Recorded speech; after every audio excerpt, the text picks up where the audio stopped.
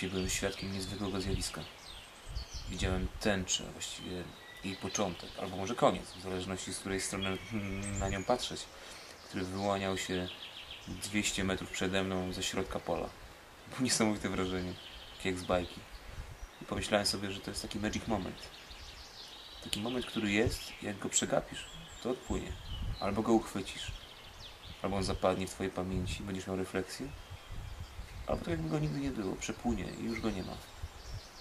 Moja żona kiedyś powiedziała piękną rzecz, że w ciągu każdego dnia spotyka Cię wiele takich momentów.